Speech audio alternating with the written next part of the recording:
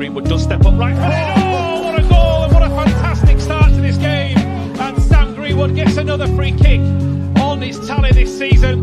Leeds United 1 0 up here at Bodymoor Heath. And what a goal to start proceedings. Promotion currently on its way. And Ben, his free kick highlight reel is getting better and better. Sam Greenwood, stop that right now because it's getting outrageous, it's getting ridiculous.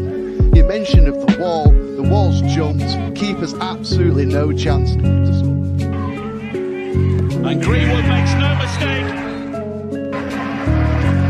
Such a calm penalty from Sam Greenwood.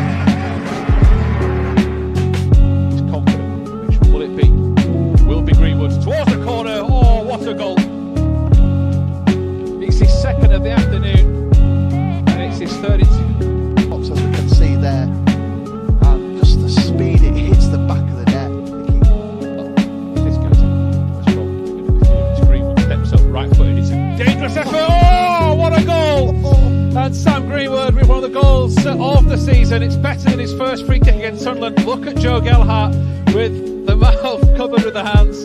He can't believe what he's just seen. Sam Greenwood take a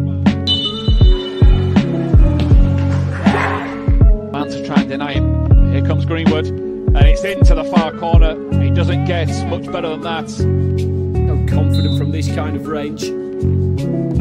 It is Greenwood and it's into the top corner and Arsenal are back in this game. A scorer last night for the under 23s and another fabulous goal. Leeds United teammate and close friend as well. A couple of minutes to go until half time. Will it be fourth time lucky for Greenwood?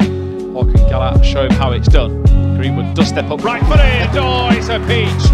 And it's the same pocketbook. New season, same outcome. Sam Greenwood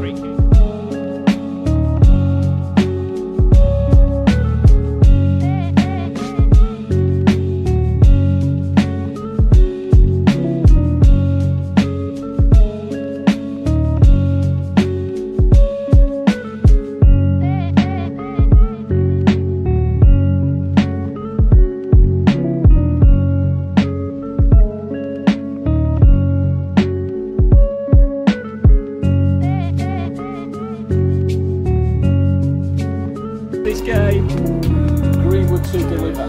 Towards the far post tie, blustery and windy conditions. Greenwood